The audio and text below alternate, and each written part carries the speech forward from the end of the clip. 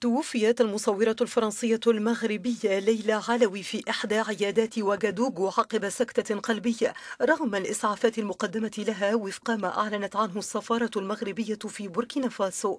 وبوفاة المصورة الفرنسية المغربية يرتفع عدد ضحايا هجمات وغادوغو إلى 30 قتيلا. وكانت ليلى علوي وقت الهجوم في مقهى ومطعم يحمل اسم كابوتشينو أصيبت برصاصتين واحدة على مستوى الذراع وأخرى في الساق ليتم نقلها بعد ذلك إلى أحد العيادات حيث أجريت لها عملية جراحية.